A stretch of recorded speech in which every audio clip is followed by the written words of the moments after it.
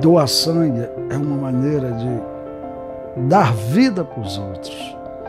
Então, então eu sempre eu me sinto bem quando dou sangue, que eu sei que tem um, em algum lugar qualquer tem essa pessoa precisando de sangue. Eu sou Ana Maria Almeida Souza, eu sou médica, hematologista e hemoterapeuta e também tenho o título de Patologia Clínica e Medicina Laboratorial.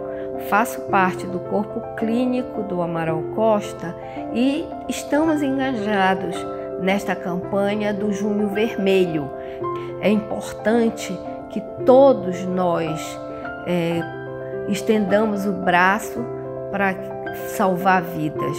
Então aproveitamos a oportunidade para convidar todos os torcedores de Remo e Paysandu a abraçarem essa causa e comparecerem ao Hemopa para fazer a doação de sangue.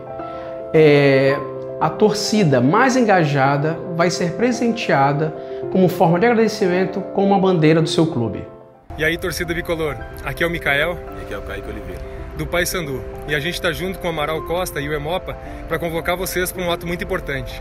Em junho e julho, o estoque de sangue da Emopa fica muito baixo por conta das férias. Se você vai ficar na cidade, não deixe de doar sangue. É só chegar e falar que você vai doar em nome do Paysandu. A torcida com mais doadores em junho vai ganhar um prêmio por, por ajudar a causa. Uma bandeira personalizada para torcer nos jogos. Atenção, Fenômeno Azul. Quem está falando aqui é a rapaziada do Leão. A gente está junto com Amaral Costa do Emopa. Pessoal, em junho e julho, o estoque de sangue do Emopa fica muito baixo devido às férias e às viagens das pessoas. Se você for ficar na cidade e puder doar, doe sangue.